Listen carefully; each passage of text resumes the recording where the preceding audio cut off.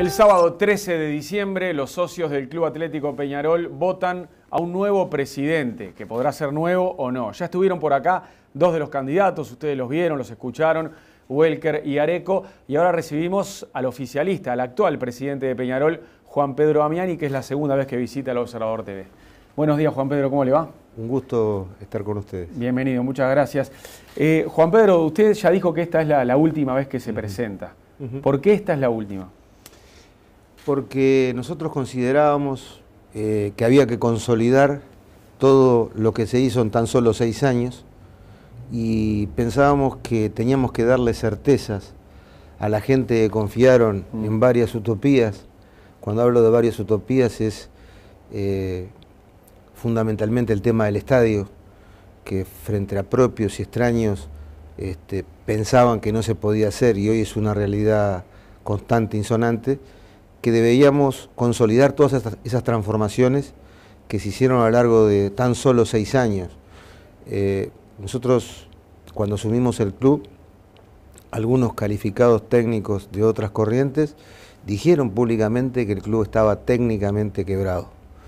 Y en ese periodo de seis años, eh, nosotros pensamos positivamente, pensamos en grande, pensamos en que había que trabajar intensamente en formativas, se construyó un centro de alto rendimiento único en el país, se fue a buscar a Púa, se fue a buscar a, a Uchaín posteriormente, y hoy bueno, ya vemos que eh, Peñarol es el proveedor, la mayor cantidad de proveedor de jugadores de las distintas selecciones juveniles de Uruguay. Eh, ¿Usted en la anterior elección había dicho que era la última también? No, yo la, no, no, no. Nunca había dicho eso. No, yo había dicho hace poco que no me iba a presentar. Y, realmente, ¿Qué fue lo que lo llevó a presentarse? Esto que te estaba diciendo. Pero sobre todo, a ver, no, esto que me está diciendo es por la pregunta de si es la última. Esta sí, definitivamente la última y te voy a explicar por qué. Uno supone que eh, eh, usted quiere seguir porque el próximo presidente de Peñarol es el que corta la cinta del estadio. Eso es clave. Bueno, mira, el tema de cortar la cinta o no, eh, no es un tema, yo creo que lo fundamental es el convencimiento de un grupo de gente que llevamos adelante algo que lo quería, un sueño de todos los peñarolenses y que lo pudimos llevar a cabo. Pensar que uno se queda por un pedacito de tela es pensar que eh, muy, muy a corto plazo. Nosotros nos quedamos porque queremos consolidar esta, esta nueva gestión, así que le llamamos, que está dando hoy la base de sustento para que Peñarol sea el club este, de los próximos 20 o 30 años líder porque como te decía Mariano, el tema de los juveniles, el tema de cuatro años eh, con balances positivos, el tema de los 75 mil socios, el tema del estadio, el tema de ganar, porque acá se ha instalado eh, que no se ha ganado. Nosotros soñamos eh, cuando asumimos volver a ganar y en, en, estos, años nadie ganó más que Peñarol. Peñarol ganó dos campeonatos uruguayos, Nacional le ganó dos campeonatos uruguayos y creo que otro uno de defensor y otro Danubio. Y en definitiva eh, buscamos llevar a Peñarol a lo más alto de América y del mundo y lo llevamos a la décima final de la Copa Libertadores, cuando seis años atrás uno pensaba que era una cuestión bastante difícil. También pensamos eh, que había que sanear el club, se refinanció la deuda a, prácticamente 12 años a una tasa de interés del 2% anual, este, todo lo cual consolida para las próximas administraciones el, grado de crecimiento. ¿En qué situación económica y financiera va a quedar Peñarol después que quede terminado el estadio? Muy bien, con una situación económica y financiera eh, muy poderosa para el futuro. ¿Por qué digo poderosa? Porque Peñarol eh, construyó el estadio con, recursos que hoy no tenía. No podía vender butacas porque no tenía un estadio propio. No podía vender palcos porque no tenía un estadio propio. No podía vender el nombre del estadio, eh, los estacionamientos porque no era propio. Entonces, en definitiva, el partido inaugural se generaron con recursos que lo genera el estadio, y, el único riesgo que tiene Peñarol es si la parte administrativa, si la parte comercial que se va a vender, se van a iniciar nuevas acciones, no vende medianamente las butacas, puede tomar tener un riesgo del 10% de los ingresos del club. Eh, que en definitiva eso es nada porque una vez que en 10, 12 años se termine de pagar, porque nosotros vendimos palcos, butacas mm. y, nombre del estadio comercial por 10, 12 años, Peñarol va a tener ingresos enormes este, producto de, ese estadio. Va a tener eh, una cosa clave que es el tema de la, eh, digamos, fidelidad de los socios al tener un estadio de 42.000 personas, eh, necesariamente el socio va a tener que mantenerse en los registros sociales para poder concurrir al estadio. ¿Cuál es la fecha, la fecha que está fijada hoy para la inauguración? 28 de septiembre, si la lluvia este, no nos complica. Eh, ahora, eh, ¿pero se, llega a, septiembre el año que viene? Yo creo que sí. Este, uno lo ve hoy y dice, pa. Estamos, según los, los ingenieros, estamos en el casi 30% de las obras y lo más difícil al principio fue el movimiento de, tierra, que ahí dependés mucho del de el, clima. ¿no? Bien, eh, Welker lo, acusó a usted de, tomarse muchas fotos en el estadio, de hacer recorridas con gente, de, atribuirse la obra, cuando él dice que es eh, idea de, más de uno y es algo de todos. Es una idea de todos los peñarolenses. Y nada más que el destino nos puso a nosotros a la directiva actual y él que es el vicepresidente estar en ese momento en el cual se, se, este, eh, se, construye algo que en 123 años no se pudo construir. Tener pero se está usando para la campaña. El mejor está... No, pero son, lo, que pasa es que son hechos incontrastables, porque lo, lo, de los socios, lo del centro de alto rendimiento, de lo de los juveniles, lo del estadio, son hechos concretos que se pueden palpar. Los otros son todas ilusiones y promesas que después hay que concretarlas. Yo, estoy seguro que eh, hay, gente muy valiosa en todas las listas, inclusive Edgar. Evidentemente en el mundo de las comunicaciones lo que faltó entre nosotros, que es mi actual vicepresidente, es eh, mayor comunicación, ¿viste? Y eso pasa, ¿viste? Estamos en, continuamente comunicados y cada vez estamos más incomunicados los seres humanos, ¿no? Vamos a escuchar algo de lo que dijo Edgar Welker acá en el Observador TV.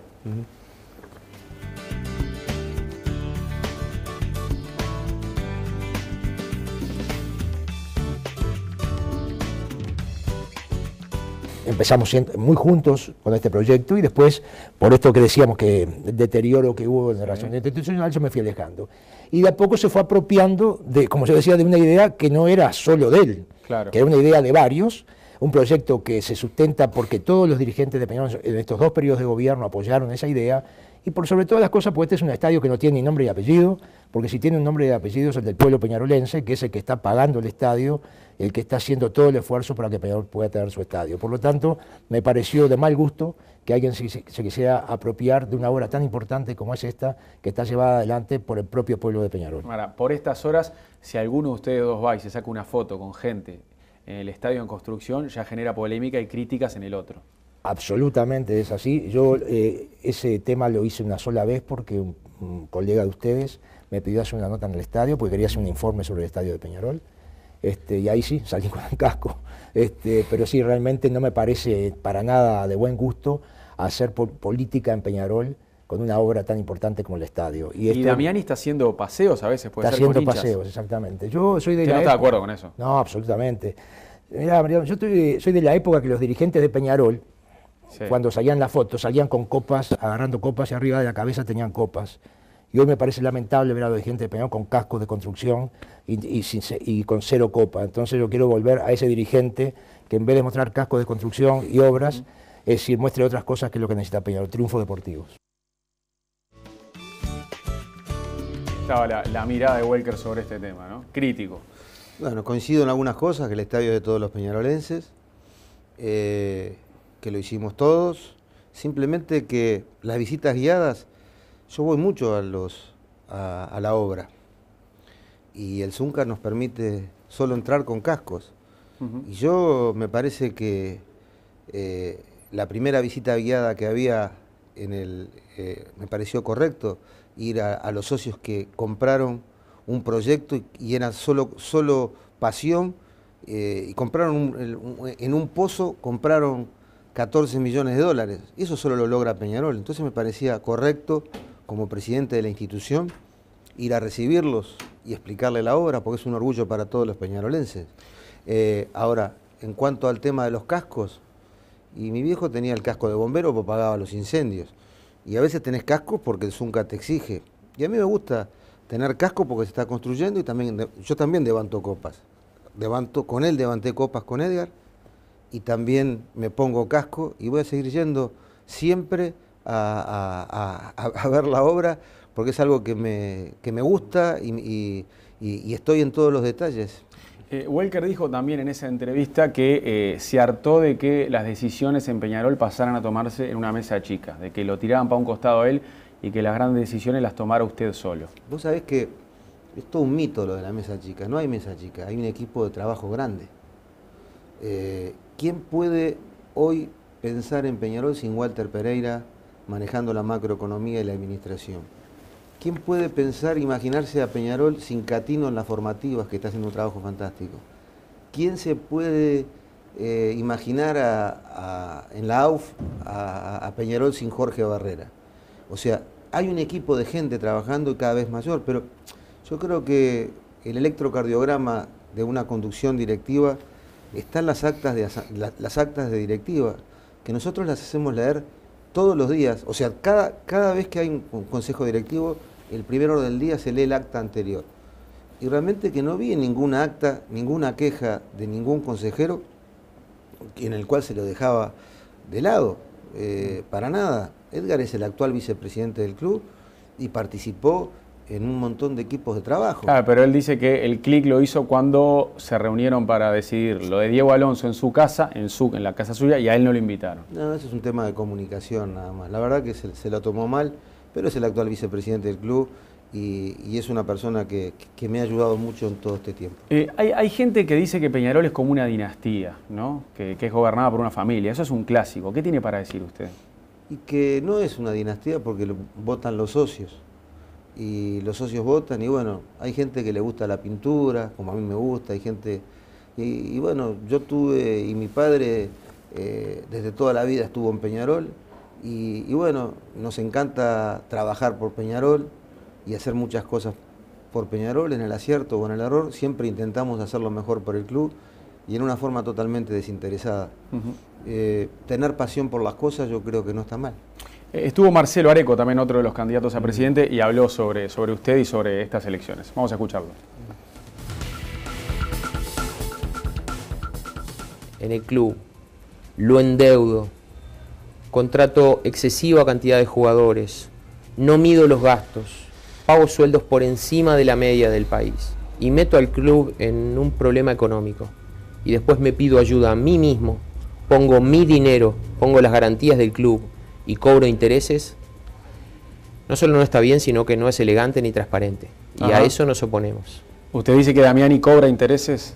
No, yo le aseguro y le digo y le comento y le comunico a los socios que Damiani cobra intereses, claro. Todos los que ponen dinero en Peñarol cobran intereses. ¿Esto es así?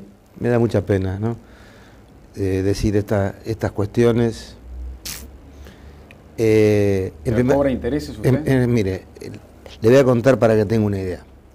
La deuda eh, que Peñarol asumió con mi familia en su momento y que refinanciamos a 12 años con espera y se paga con cuotas mensuales a una tasa del 2% anual, que significa, para que tenga una idea, Uruguay se endeuda a más plata, el país, que es una roca, se endeuda a más plata.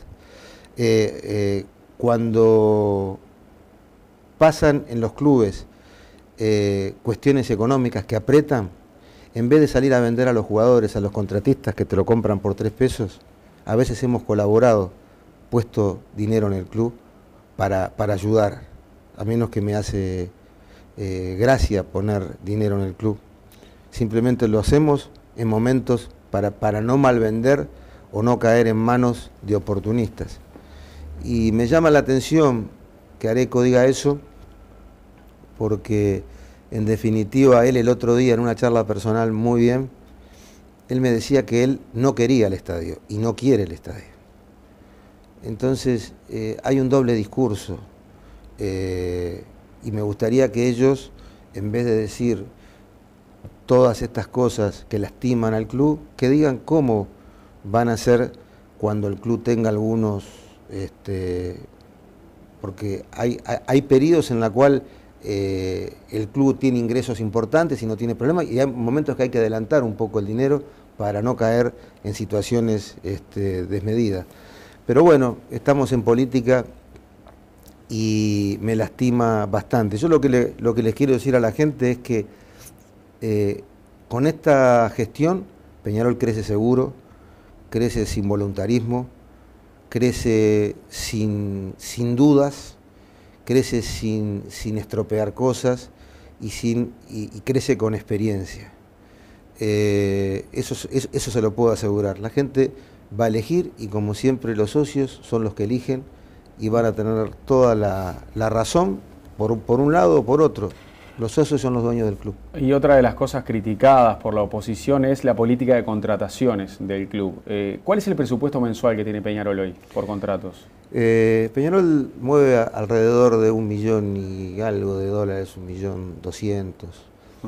Eh, pero está claro que la, Comisión de Pases y Contrataciones la, la presidía Edgar Welker y la integraba un miembro de cada una de las fracciones políticas del club. Pero esto claramente es como pasa siempre. Eh, los logros eh, se socializan y las cosas cuando nos salen mal son de uno, otro como el Estado.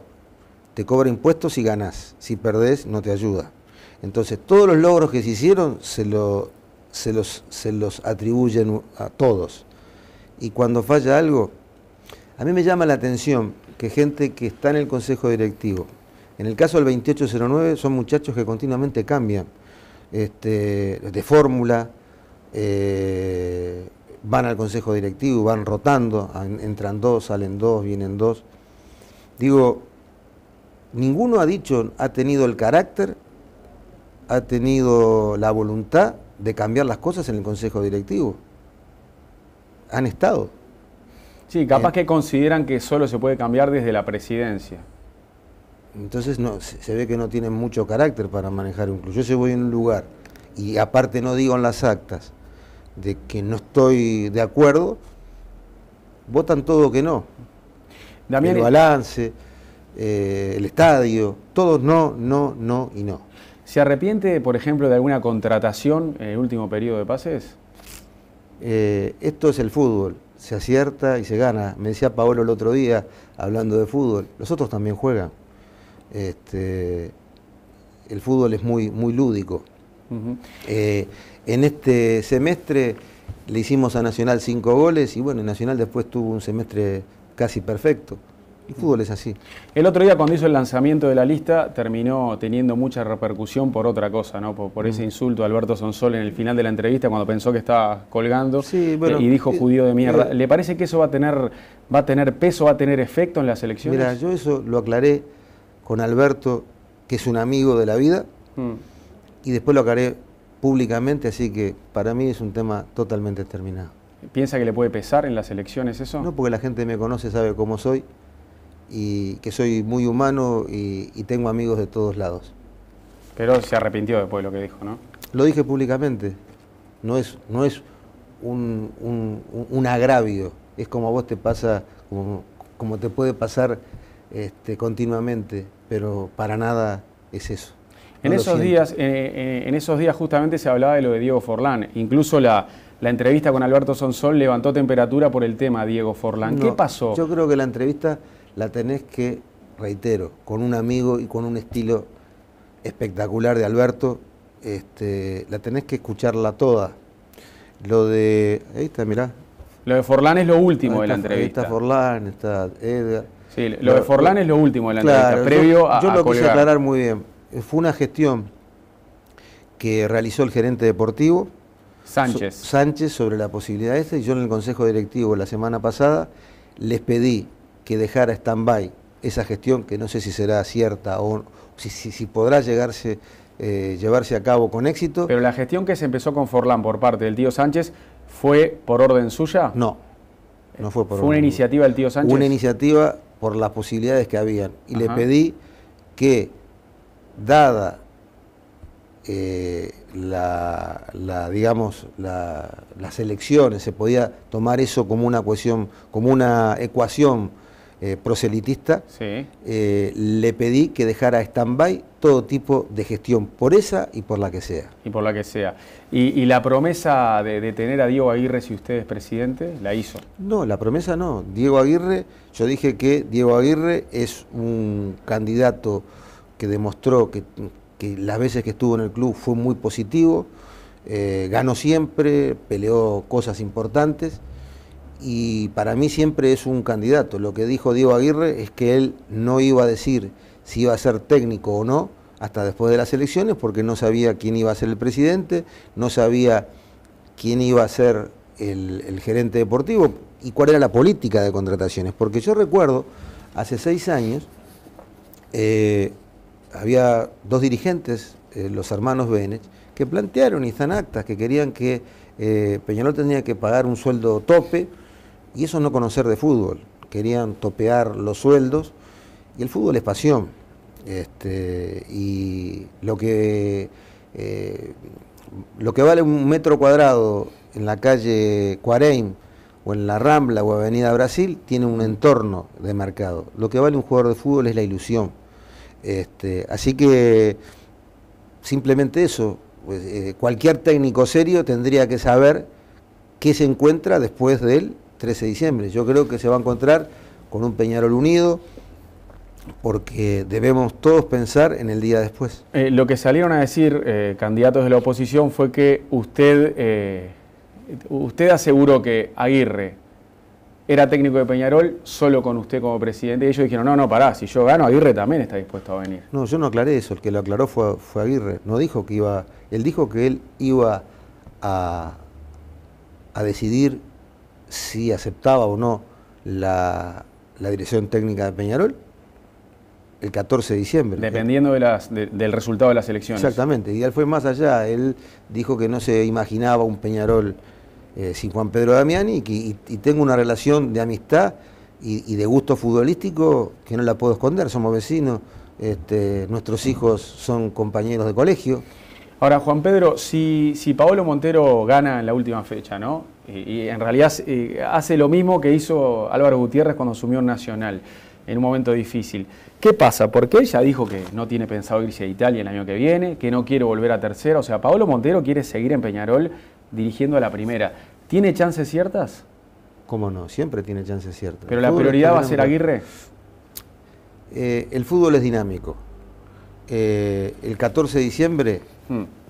tendremos que reunirnos todos y decidir cuál es la mejor opción. Entonces, me parece muy bien que Paolo haya dicho eso, muestra el carácter que tiene. Y cuando nosotros lo, lo trajimos a, a Paolo, porque Paolo se alejó del fútbol y, y- y empezó su carrera como representante. Y creo que no era el lugar apropiado. Paolo seguramente estaba cansado del fútbol y pensó Mm. que podía estar en otra vereda del fútbol. Y volvió por lo más bajo. Y Paolo tiene todas las condiciones para ser un excepcional técnico. Tiene carácter. Lo dirigieron los mejores técnicos del mundo, o sea que tiene para aprender. Angelotti, Lippi, eh, Capello. Sí, sí, en la Juve lo dirigieron todo, los ¿no? cra. O sea, es una persona inteligente, es una persona del club y es respetado por propios y extraños. O sea que tiene condiciones fantásticas para ser Ahora, técnico. yo me, imagino este escenario, ¿no?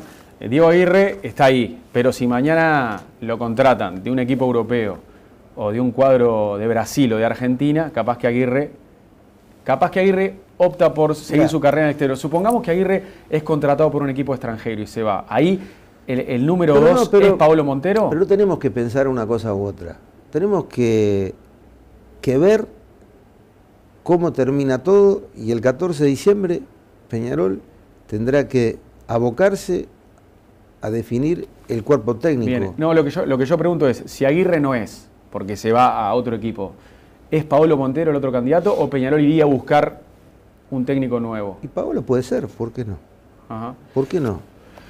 eh, tiene todas las condiciones para, para, para ser un gran técnico, como te decía Mariano, ¿sabes? Eh, Juan Pedro, Qué otro joven tema. estoy ahí. ¿eh? Está joven ahí, sí. Eh, otro tema caliente este año fue la denuncia que presentaron algunos clubes ante la Conmebol, ¿verdad? Esto generó incluso diferencias también en la interna de Peñarol, porque Welker no estaba de acuerdo con que Peñarol fuera abanderado de eso, pero después discrepó también con, No. con, con la retractación. O sea, no, no.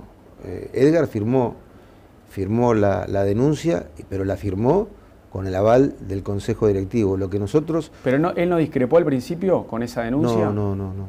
Él, él, él la aprobó, pero vale aclarar muy bien que eso fue una decisión Sí. del Consejo Directivo, pero era una decisión que queríamos manejar. Mm. No, o sea, nosotros queríamos lograr mayor transparencia en, en los contratos de la, de la Conmebol y mayor dinero. A raíz de eso se recibió más dinero para todos los clubes y empezaron a aparecer los primeros balances. Y- Pero él lo criticó por darse vuelta, porque No, no, él dice que eh, usted se dio vuelta, no. que presentó la denuncia y después la sacó. No, no, no, no, no, no, no. Esto hay que aclararlo bien. Nosotros presentamos la denuncia, eh, den- la presentamos, firmamos la denuncia, pero había que esperar que se sumaran más equipos de renombre en Mm. este movimiento. Eh, este, y, los equipos de renombre no vinieron. Y después vino una eh, exigencia de la Conmebol en la cual exigía para jugar la Copa Libertadores que no se podía hacer eh, denuncias fuera de ese ámbito. Nosotros nos reunimos este, y creo que Peñarol es una institución que tiene que jugar al fútbol. Logramos, en primer lugar, mayor dinero, logramos transparencia, pero aparte nosotros enviamos una carta a la Comisión de Ética de la FIFA exigiendo un montón de cambios.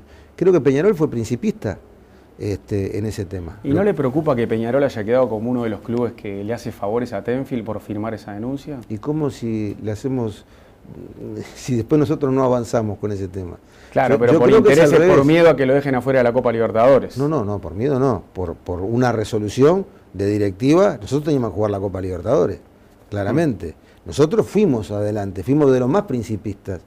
Este, y creo que logramos cosas muy importantes. Está, está cambiando fuertemente el fútbol desde el momento que Peñarol hizo su, su, su- que realmente fue el un- la única institución realmente poderosa, con todo el respeto para todos los demás, que, que se sumó a este tema. Ah, ¿No fue triste la caída de Sebastián Bauzá? Para mí sí. Nosotros no estábamos de acuerdo en eso. Nosotros apoyamos hasta último momento este, y nos pareció que no fue bueno para el fútbol uruguayo. Y ahí sí quedamos en una vereda distinta. Fue un golpe institucional que se Sí, dio. bueno, y Peña- y Peñarol estuvo en otra vereda distinta, junto con otras instituciones, con Defensor, con Danubio, con Wander y con Liverpool. Juan Pedro, hablando de lo deportivo, Peñarol está a 14 puntos en la anual. Mm. ¿Ya está perdida la tabla anual? La tabla anual ya la hemos dado vuelta una vez con Diego Aguirre, ¿no? Este, Claro, ahí están obligados a ganar una final más. no, es bravo. a- antes no. no, digo, si, si, si Si llegan. nosotros ganamos si en la apertura. No, no, pero cambió mucho la. El reglamento cambió un poco. cambió mucho. no Antes tenías que ganar un montón. Ahora vos, vos jugás una final con Nacional. Suponete que nosotros ganamos en la apertura. Sí, y no gana la anual. Y no ganamos la anual. Es un empate. Y después vas a penales. Y después empieza de cero. Sí, sí. O sea que. Ya no tiene tanta ventaja deportiva el ganador del anual. No, no, no, no. Y yo, y, eh, yo tengo mucha fe de lograr el. Que Peñarol logre El uruguayo. el 50, la Copa número 50. El tema es que, eh, bueno, si no gana el campeonato uruguayo ese, ya está muy comprometida la presencia en la otra Copa Libertadores. No, ¿no? no es así también. Todo genera una sensación térmica dramática. Nosotros eh, eh, entrando, que vamos a pelear el campeonato uruguayo porque tenemos el mejor plantel, Mm. o teníamos el mejor plantel, por lo menos lo que decían ustedes, los periodistas, eh, entra hasta el tercero en la tabla anual. No, no, no. Eso continuamente quieren generar una situación, una sensación térmica distinta de la realidad. En los últimos 20 años, las cosas importantes en el fútbol pasaron en Peñarol. Un quinqueño, 5 a 0 y la construcción del estadio. No se movió la- el tanque. Seguimos la misma diferencia y ahora el estadio. O sea que son situaciones que a uno le duele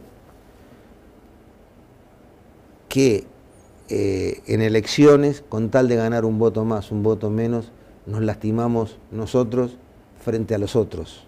Y supongamos que Aguirre vuelve a Peñarol y asume en enero. ¿Qué pasa con Antonio Pacheco, con el ídolo? Nada, ¿Sigue o se va? sigue. ¿Por qué no va a seguir? Y bueno, porque si, si en 2011 ya lo sacó del plantel, uno, uno supone que en 2015, cuatro años después, capaz que lo saca también. No, yo creo que es una muy buena posibilidad para que dos glorias que, que han nacido los dos con estrella y no estrellado terminen, como siempre, eh, eh, en un final feliz, como cuando volvió Tony de la fractura y tuvo el final mágico de los tres, de los tres goles. Yo me imagino Peñarol campeón con, con Aguirre si es técnico y con, y con Pacheco. Eso no, eso no va a ser un impedimento, para nada. Juan Pedro Damiani, muchas gracias por visitarnos hoy. ¿eh? No, gracias a ustedes y, y bueno, la tercera será la vencida o no hay dos sin tres. Bien, que pase bien. Muchísimas gracias. Mariano. Gracias.